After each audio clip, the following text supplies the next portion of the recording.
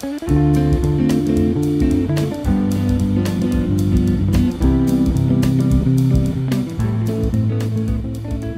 y a beaucoup de choses auxquelles nous croyons, surtout parce que nous avons envie qu'elles soient vraies. En anglais, cela s'appelle le wishful thinking, le fait de réfléchir à travers le prisme de nos souhaits. L'exemple le plus frappant de cette pratique, sans doute, est la croyance en la vie après la mort, en la résurrection ou la réincarnation, en le paradis et en un Dieu qui a un projet, un destin pour nous.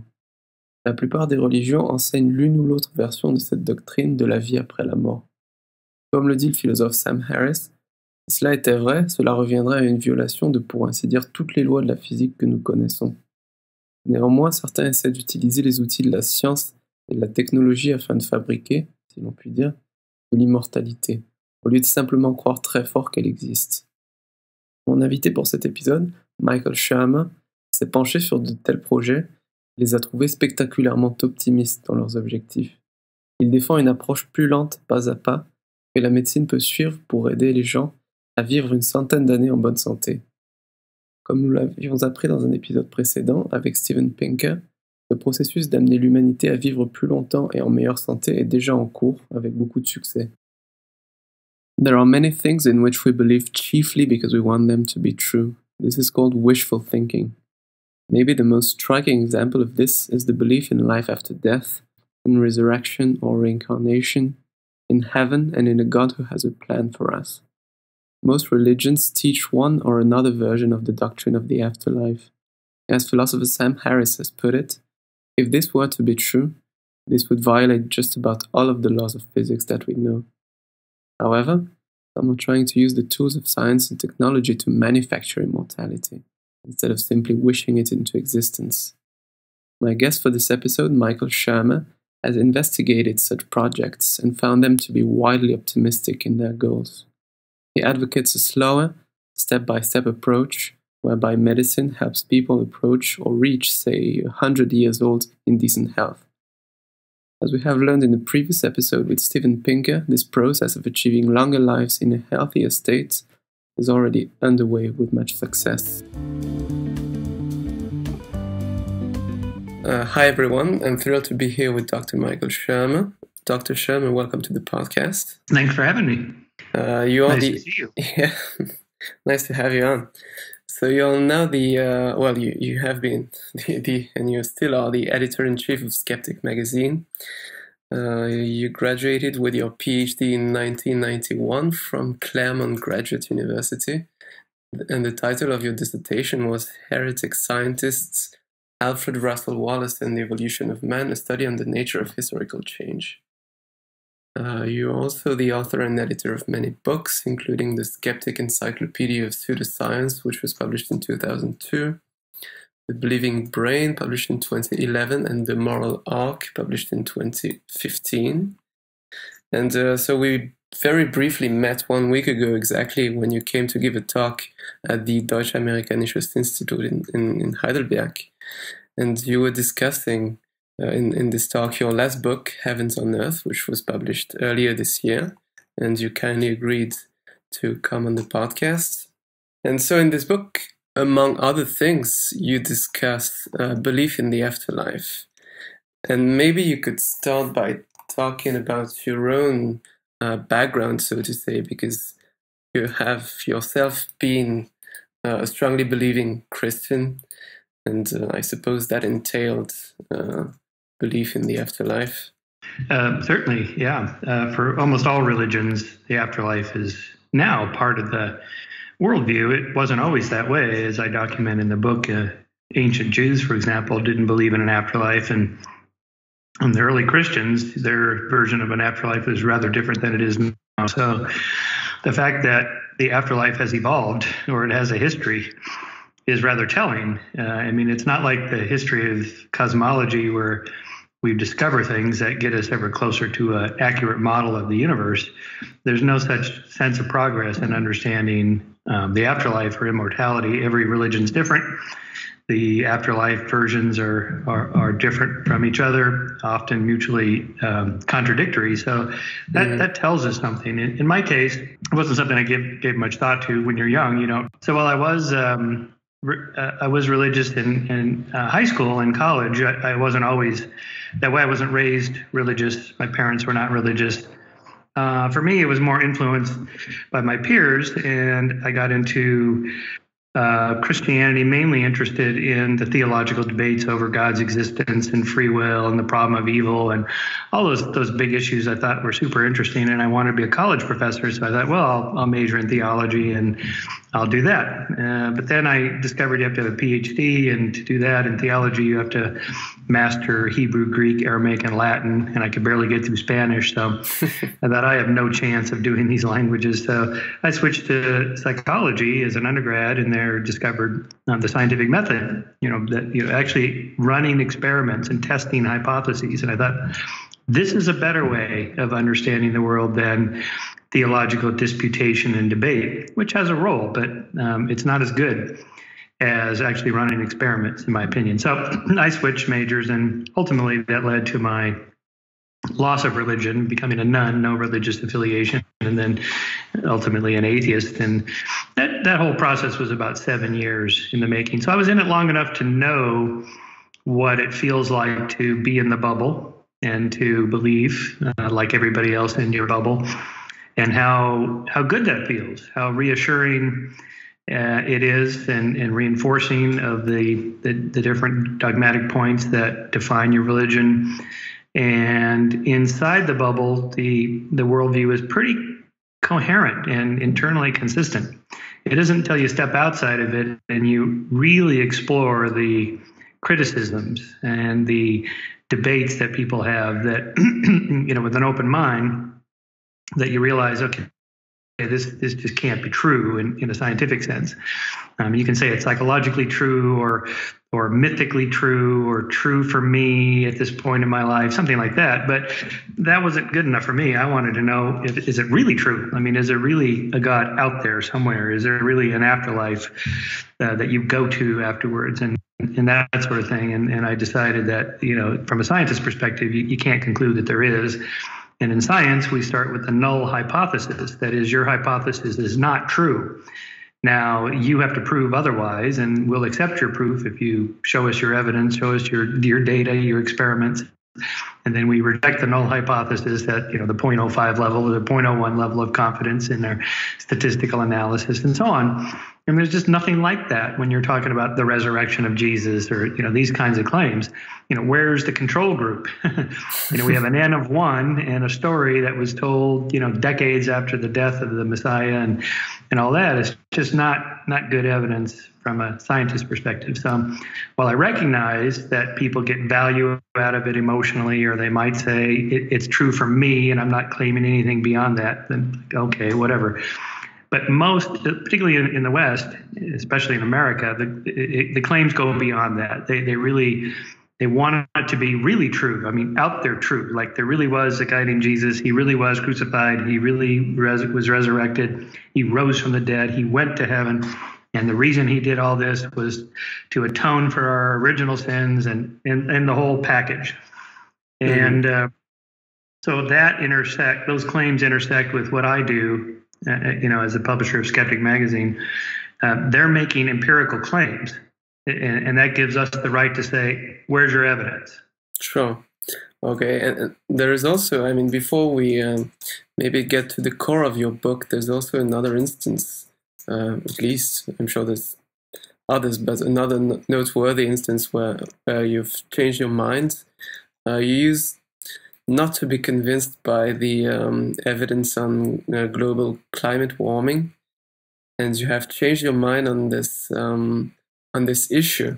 And I was, yeah, I was wondering if you could also speak briefly about this. Uh, yeah, um, the change of mind idea is I think is important in our toolkit of skeptical critical thinking. That is, when someone makes a claim, you can just you can always ask, well, what what what would it take for you to change your mind about your belief?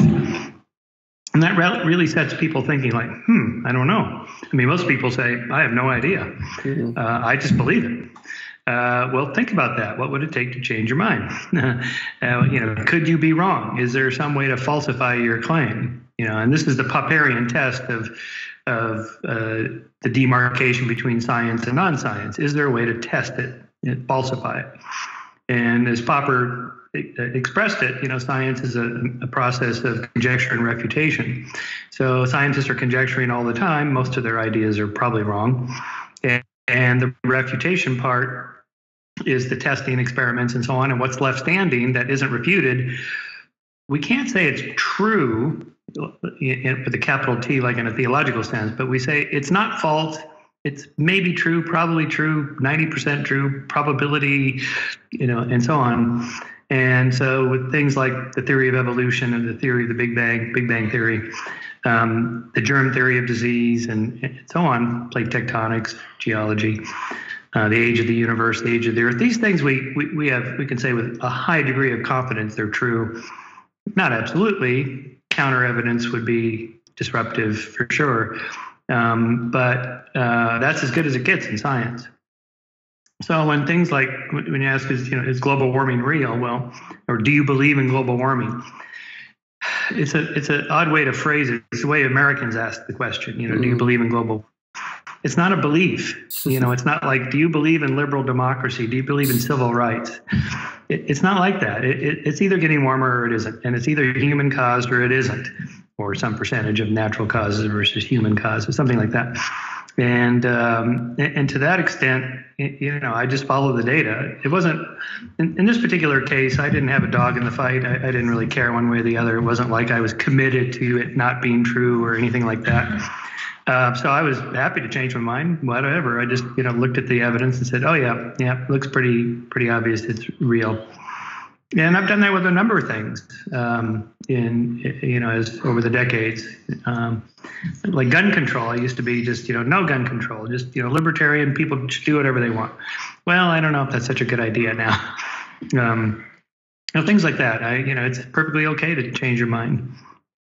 Okay, uh, so maybe finally we can um, get to the book itself.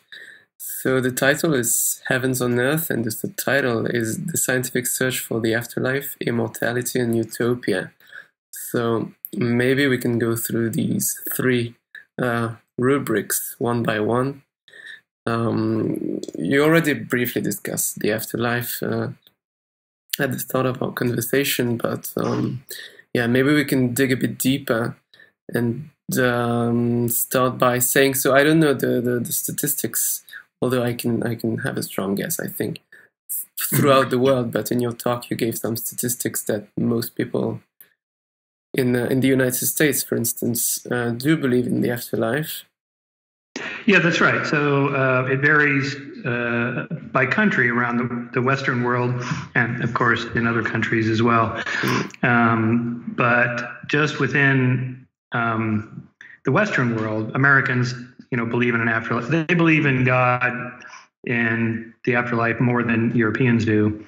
It's an interesting question why that would be, because mm-hmm. say 50, 60, 70 years, well, just say post World War II, right after World War II, the you know percentages of belief were about the same, but Europeans have gone undergone quite a quite a dramatic shift not all countries in Western Europe, but most of them. Mm-hmm. You know, people, the majority of people don't believe in God. They don't adhere to a religion. They don't believe in the afterlife.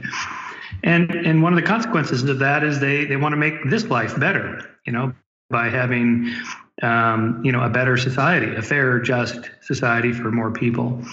This is one explanation that that when your government takes care of the poor people and people that are mentally ill, physically handicapped, unemployed for whatever reason, you know, have a hard life, um, then there's no reason for religion to do that, because mm. um, that's what religions traditionally have done is take care of poor people, say, man the soup kitchens and so on. So if the government does it, what's left for religion to do? Because religion's role as an explanation for the world has already been replaced by science, and, and pretty much everybody agrees on that uh, except for fundamentalists in America, say young Earth creationists. But um, so you know that's one explanation uh, for that. Now the percentages of belief are still nevertheless fairly high everywhere that there is an afterlife, including amazingly that atheists and agnostics, when asked, um, you know, do you think that? Well, they don't ask, is there a heaven?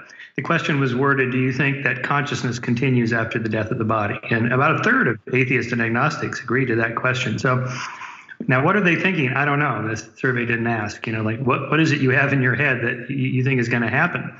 But I suspect, because I meet a lot of these people, that it, it's something like a quantum consciousness kind of a Western Buddhism, Deepak Chopra, you know, the your consciousness returns to the quantum field state out there somewhere in the ether, and uh, and, mm-hmm. and it, it, always existed before the physical instantiation of it in your body, and then it will continue on afterwards. And this is just a temporary staging area on Earth in a physical manifestation. Um, and, so I suspect a lot of people think something like that but also I know because the core of my book is that people that think that not that it's going to happen inevitably, but that we have to make it happen. Uh, and this is, you know, cryonics and transhumanism and radical life extension, uh, the mind uploaders, you know, all, all these um, attempts to defeat death, defy death, um, scientifically, technologically. So I find the, the whole movement fascinating because I'm a big pro science guy. They're big pro science people. They love science and technology, and I do too. So, okay. And it's not that I'm against it. I, I think it would be great if they were able to solve specific problems along the way. Um, for example, uh, prostate cancer for men, breast cancer for women, Alzheimer's, dementia, senility, you know, th- uh, brain diseases especially. I mean, what's the point of living 500 years if the if the last 400 of the years you don't even have a memory because your mind is gone? Okay, there's no point. So we have to solve those specific problems along the way, and and the billions of dollars being poured into these companies that are funded by, um, say, Peter Thiel and and Jeff Bezos and the Google boys at uh, at Google and so on. This is good because um, setting aside for the moment, you know, they're going to defeat death and we're going to live forever, a thousand years or whatever. Setting that aside, because I think that's unrealistic um, on any horizon for any of us alive today. But if they can solve specific problems and get more and more people up to the upper ceiling, which is about 115, 120 years, um, with a quality of life um, you know, so when they people say, Shermer, don't you want to live to be 500? It's like, look, just get me to 90 without cancer, get me to 100 without Alzheimer's, and then we'll talk. Mm-hmm. And I'll let you know how it's going then. Um, I, was just on stage with Dawkins in Berlin, as you know, and and uh, so we were just talking about this, and he said 200. I'll go for 200. like, yeah, okay, 200. That sounds like a good round number. Uh, you know, but we'll see. Uh, uh, you know, I, I, I, am not as optimistic as Ray Kurzweil is. He's the guru of the singularity. Mm-hmm. And uh, his idea that I talk about in the book is, is this takeoff point where that the, um, say you take your average life uh, span of humans today in the Western world, about 80 for women, 76 for men, whatever. And every year that goes up a little bit.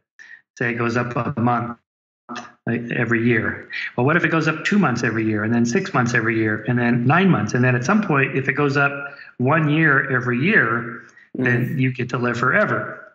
Now, one flaw in this reasoning is is those statistics apply to people that are born that year, yes carried out, say, in a century. That's yes. how long they'll live. Not you and I, me, I'm 64. Kurzweil, I think, is 70 now. Mm. That's not going to apply to us. Right. uh, so, um, but even so, I, you know, again, I like the idea of, you know, if you can extend uh, any of our lives as we get older, replacing parts. I mean, I have a titanium hip, for example, and it's great. Uh, you know, more of that, the better. Solving specific problems. I call this protopia. Instead of aiming for utopia, which doesn't exist, protopia, where we just make a little bit of progress every day. And uh, so while I'm skeptical of the scientific attempts to achieve immortality, I'm in favor of the medical and technological uh, attempts to solve specific medical problems. Mm. I've seen one argument according to which um, uh, senescence or aging. Uh, you know, if we hadn't heard about it before, which seems completely, you know, implausible as a hypothesis, but imagine somehow that we wouldn't have heard about it. Uh, if we were described all its symptoms, we would consider it as a disease and try to yeah. try to cure yeah. it. That's right, and that's how people that work in the business treat it. It's it's just yeah. another um, technological, pro- an engineering problem, bioengineering problem, uh, or in this case, really genetic engineering problem, um, because the the senescence is built into our genome. It's built into the whole package, the whole physical package by evolution. So I, I discuss this in the book at length. That you know, why do we have to die? Infants and young children, you know, their cells divide like crazy and, and just it seems like indefinitely, and they're healthy and strong and growing, and and they get little cuts and they heal like overnight. It's incredible to watch. Um, how come I can't do that? You know, in my 60s, how come uh, uh, my cuts heal much slower? And and the answer is is because I'm now at the point where, in terms of evolutionary perspective, um, you know, I, I, would be, say, if I lived in the Paleolithic, a grandparent or maybe a great grandparent in my late 60s and 70s. After that, there's really no use for me anymore because the parents and grandparents have already invested a lot in getting the current generation's offspring uh, genes into the next generation. So there's no reason to allocate the resources to keeping a body super young and healthy for hundreds of years when the job is already done. Mm. Uh, at say a you know if you live 50 60 years you're pretty as far as natural selection is concerned your job is done you've gotten your genes into the next generation and your offspring's offspring to reproductive age by the time you're a grandparent that's it. You're you're done. uh, and it's really the way I say it is like there's somebody up there like making the calculation for energy consumption and so on. And of course, natural selection doesn't do that. There's nobody in charge. It's just an algorithm that grinds along for whatever works best for getting um, the genes into future generations. And so we have to die simply because um, we're not useful anymore after at some point. And and it isn't about our bodies as you know richard dawkins makes this point in the selfish gene. Take it from the perspective of the gene not the body. The body is just a vehicle that mm. carries the genes. The bodies are mortal. Genes are immortal. So the species as long as it doesn't go extinct is immortal. It just continues on forever. Um, yeah, but bodies are dispensable. And that's why we age and have to die Okay. Because you are very, um, well, very skeptical uh, about the uh, technical feasibility of all these avenues, the, the, the very ambitious ones, at least. These problems are way harder than they're made out to be. When you really yeah. look into them and you talk to aging experts and geneticists and so on, they just shake their heads and go, you know what, they're not even remotely close you know, this uh, Aubrey de Grey, who I like very much, um, and I admire his his work to, to, attempt to defeat aging. His he has these his SENS program, SEN has these seven different things you have to do all within the cell. Um, and you know, I look at the seven. It's like, okay, this looks great. Let's do it. And you talk to aging experts, and they go, "We're not even remotely close to doing any one of the seven, much less all of them." Mm. So you know, we have to be realistic. Okay. So maybe we can get back um, a little bit to um, the more classical or the more sort of traditional belief in the um, in the afterlife, the religious ones. Uh, you also noted in your talk that um, more people seem to believe in heaven than in hell, which is yeah, you know, optimism bias. Yes, right. I mean, I don't know if there is uh, a single religion that has a heaven but no hell in the uh, sort of uh, well, Buddhist, mythology. I mean, Buddhists and Hindus and Taoists and so on, their their conceptions of these things, including mm-hmm. God, are so different from Western yeah, yeah. religions that you know most Westerners don't really get it. You have to really get into these religions to understand what they're talking about. Uh, so I mainly focus on um, you know the monotheisms because their their conceptions of the afterlife and immortality are, are fraught with logical problems same kind of problems that the mind uploaders have. That is what yeah. what is what is being preserved. Whether you call it the soul or your connectome, the connectome being the copy of all your synaptic connections that represents all your memories. Um, is that really you? Like for say for, for religion for Christians, uh, when you're resurrected. So this was a big debate for for centuries in the Christian religion amongst theologians. What gets resurrected? Is it your physical body? I mean, you're dead. You're in the grave for a couple of days or a couple of years or maybe a couple thousand years, whatever, and then God takes you up out of the grave and into heaven. Well, what's up there? I mean, your rotted body? No, that can't be. So it must be you, um, like you are now. But wait, when now? How old are you when you're up in heaven? Well, they determined you would be 30 because 30 is a good year. You know, you're physically strong and your memories are good. So, well, they, they actually concluded that because Jesus was 30 when he was crucified and resurrected. Okay, fine. Uh, but say I'm 64 now. So, what happened the last 34 years of my life? Uh, are all those memories just gone? Because those memories are stored physically in my brain. We know that for sure. So if you're just resurrecting my 30 year old body, that you've missed a lot. You know, that's not really me.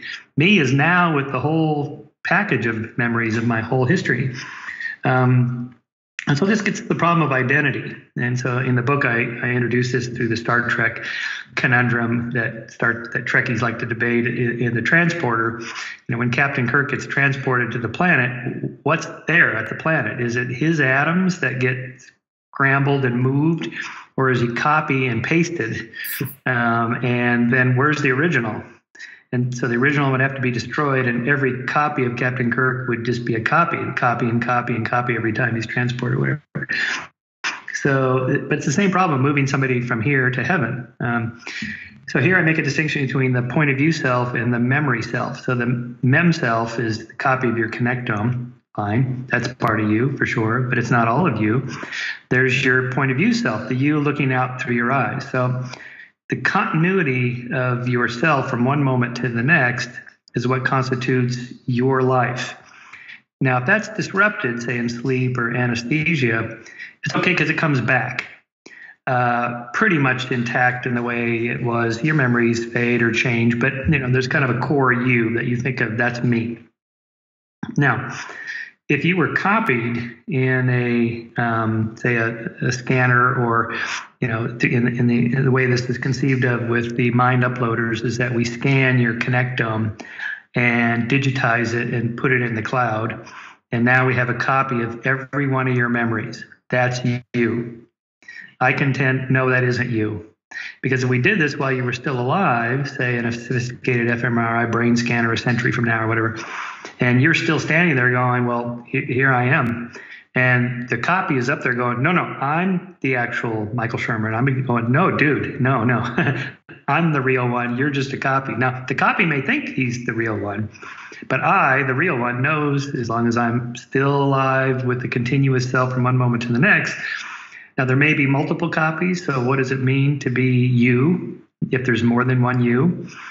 Now, with twins, this is this conundrum is resolved by the fact they're not actually identical, and in any case, they're two separate autonomous persons legally and psychologically, so it's not really an issue.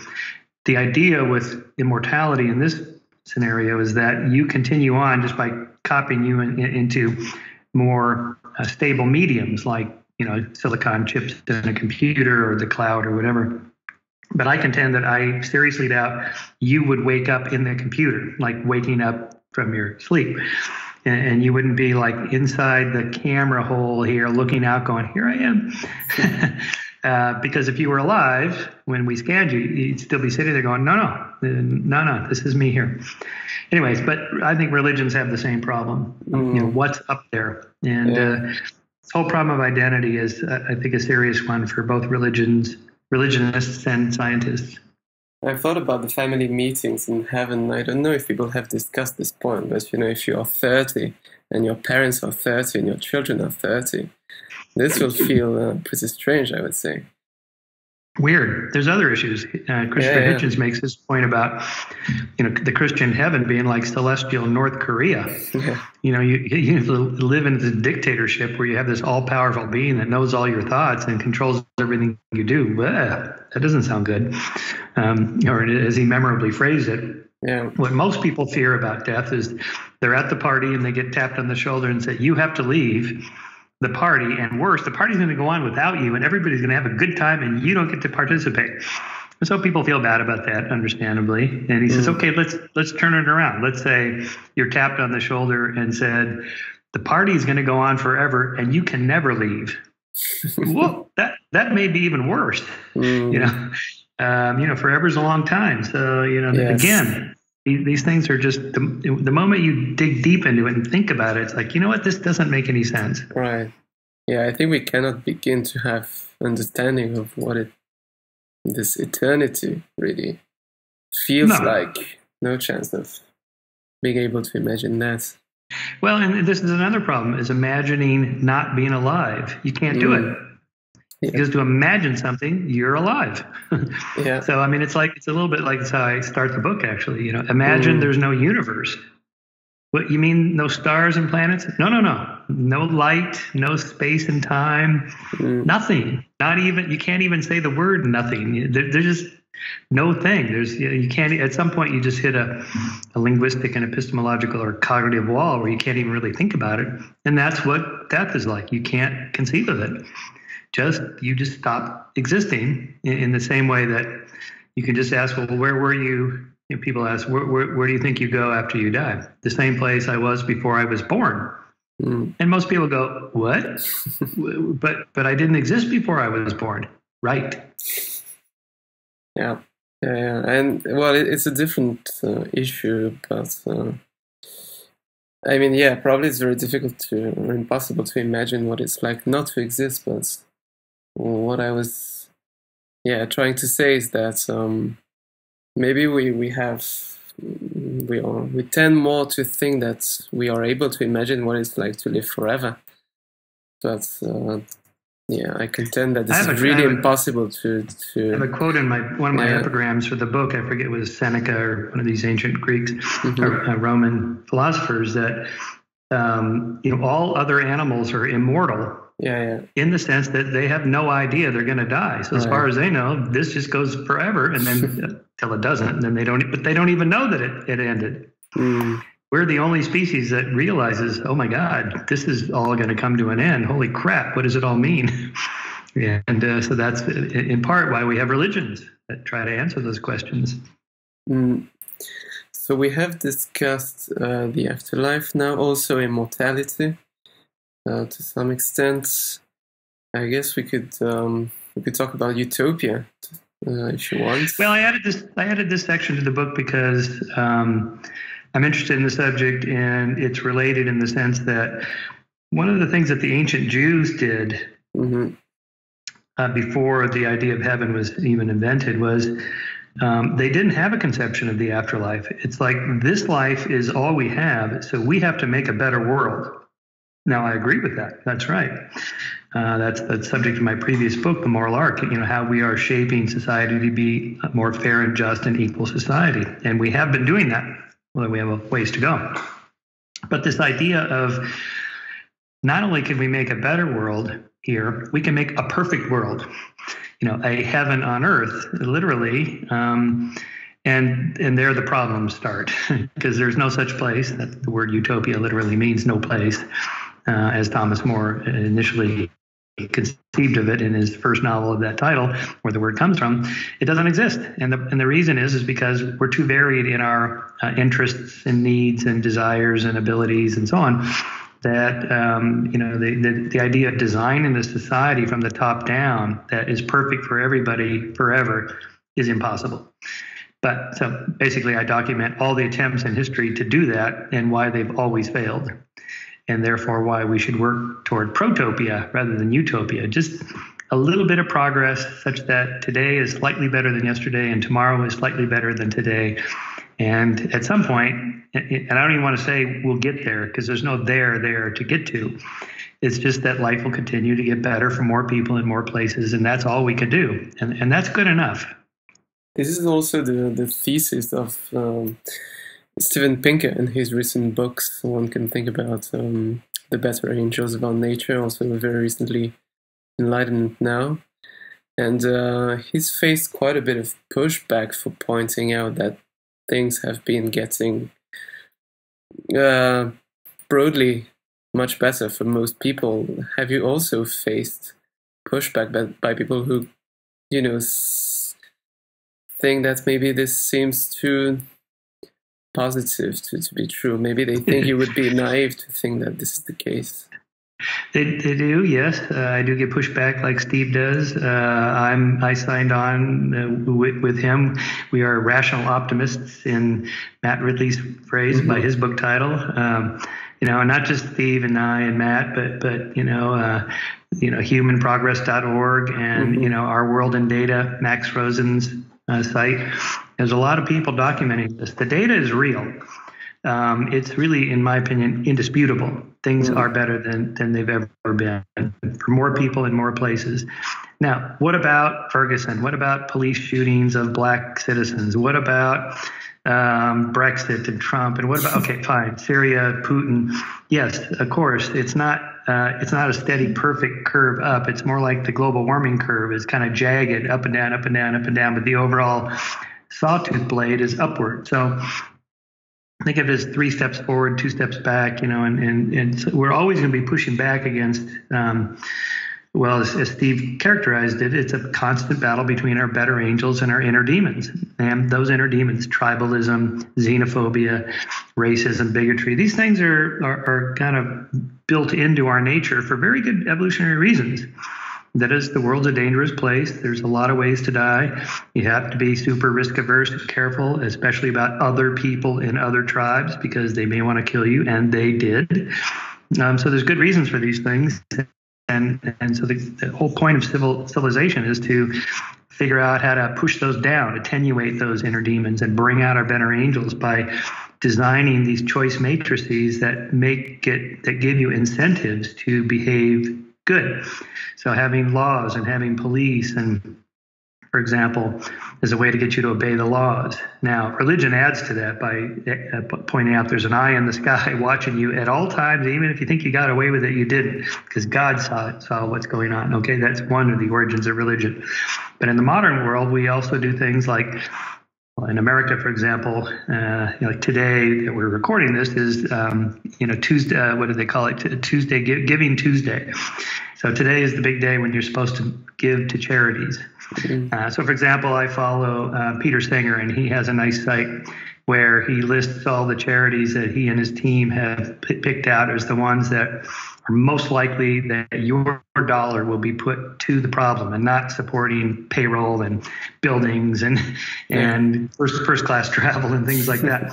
Um, but that but but I get an incentive to do that. If the more I give, the more of a tax write-off I get.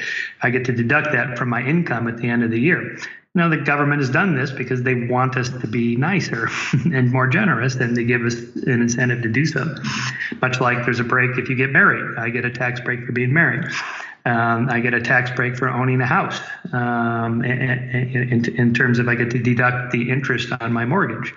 So, you know, civilization has you know, hundreds and hundreds of little ways to kind of um, attenuate the inner demons and accentuate the better angels. And I think they're, I think the better angels are winning ever so slightly. mm. And so the pushback comes from people legitimately pointing out, well, what about this bad thing over here? Yes, we should do something about global warming, the threat of nuclear weapons, possibility of AI. Yes, yes, yes. All these things are real um, you know, the plastic in the oceans, you know, and so on. These are real problems, so we should address them. Yep.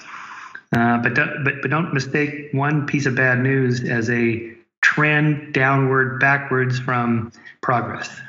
Yeah, it, it could be that uh, you know there's this impatience in that we, I, I, guess, all have to some extent, to various extents, uh, which you know causes us to think that this is essentially what you just explained in, in, in other words, but uh, this impatience that would cause us to think that if things are not uh, perfect, so to say, then probably they are not so good, uh, which, you know, is linked to this um, drive for uh, utopia. Exactly right. If if your if your standard is perfection, we're always going to fail. Right and it's always going to be uh, looking like it's bad.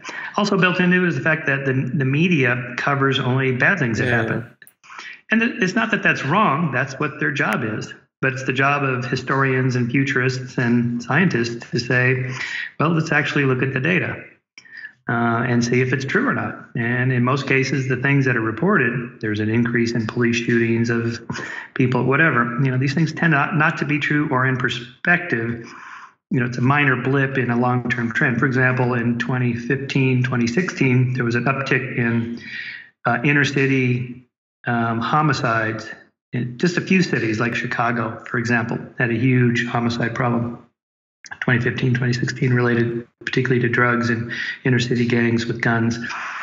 But when you when you when you look at it on the curve and it looks like there's a blip, and it's like, oh my God, Americans are killing each other more than they used to. No, not Americans across the board, just some a handful of people in Chicago, and they you can actually narrow it down to certain blocks, like this corner right here has an increase in homicides and gang related activity. So let's go park a squad car there, and the police will get out and they'll stand there. And all of a sudden, the figures go down. So this is called smart policing, and there's computer programs that do this for um, city police, and they do that, and that's what causes the numbers to go back down. So it's really just a matter of problem solving. Mm-hmm. So I have a question, yeah, which I also asked this to uh, Steven Pinker, but I think it's um, yeah, I want to hear several people's thoughts on this. I think it's, uh, it's I'm thinking about this quite a bit because I would I would say that to some extent, uh, you know, since the age of the Enlightenment, religion has seen its influence on people, its influence as a as a tribal marker, as you know, the guide to people's beliefs, and sort of a an obstacle to them accepting the best available evidence. So religion, you know, still is that, but probably to a lesser, lesser extent in the Western world than it was a few centuries ago. My question is, um, and yeah, do, do you think that politics is now sort of standing in the place where religion used to be in that respect, whereby it does, um, you know, prevent us to, to a large extent from being more objective, if not fully objective. Yeah, yeah, I think some political debates have become almost like religions, like commitment to environmentalism is kind of a religion for some people. Commitment to being anti-GMO and pro-organic foods, you know, those are that's when you talk to some of these people, it's like their religion. Uh, and, uh, and on the on the right, you know, like commitment to free market ideology, that's like a religion for some people. And I think uh, what we're seeing, in particular, with the, the kind of decline of religion's power, is it being replaced by these, you know, secular uh, mm-hmm. ideological debates. You know, for for Americans anyway, guns it's not about guns. Guns are just a proxy for something like freedom, liberty, free markets, capitalism. You know, they, they represent something that people feel deeply passionate about.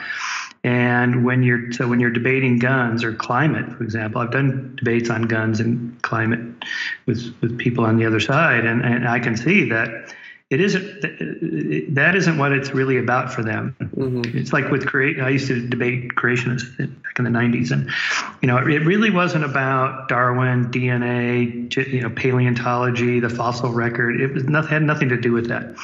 It was that you know, if you accept evolution and Darwin, then this is going to lead to a materialistic, atheistic worldview with no objective morality or right or wrong and that's bad for me, my family, my society, my country, my nation, blah, blah, blah. And so it's like they're being given a choice between Darwin and Jesus or something like that. And uh, so they, they don't know anything about evolution because it's not about that. And, and same thing with climate. Most people don't know much about climate, but global warming is a code word that gets auto corrected in the brains of conservatives to say, oh, you're in favor of big government intervention in the marketplace you know, I believe in free market capitalism and industry and the American way of life and the American dream, and you just want to destroy that. and so, again, they don't have to know anything about parts per million of CO2 gases or the ice core data or anything like that, because it's not about that.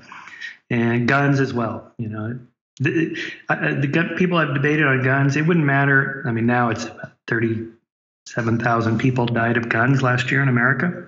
37,000. That's more than died by cars. Wow. Now, about two thirds of those are suicides, but nevertheless, it's it's still a huge number of people dying by homicide and accidental gun. It wouldn't matter to pro-gun people if it was a million a year. You know, I want my guns because they represent freedom and, and self-defense and autonomy and you know that kind of thing. It's a so the gun is a proxy for something else, an ideological, moral value that they don't want to give up. So when we debate these people or talk to them, we have to recognize that and work around it. hmm So, for example, to Christians, I say you can keep Jesus, the soul, the afterlife, God, the whole thing, uh, but just think of evolution as God's way of creating life, and, and, and so accept the science. And then we're talking about the science, and and then it's okay as long as they don't feel they have to give up something. Okay, that's uh, yeah, an interesting lesson, I guess. Very, uh, very pragmatic, so to say. Well, that's yeah. I mean, we we live in the in the real world where you have to engage people. So Yeah, yeah. Okay, so I have reached the end of my questions. Yeah, that's good. And my my my little boy just woke up, so now's a good Oh. time to. okay. Yeah. So then the timing is great. Okay, thanks, Vincent. Yeah, thanks a lot. By, by the way, my son's name is Vincent. So Oh, okay. small world. Right. Cool. Okay, well, let me know when this is posted, and I'll uh, punch it up on social media and all that. For sure. Sounds great. Okay, Yeah. thank you. Have a good day. Bye bye. Bye. Bye bye.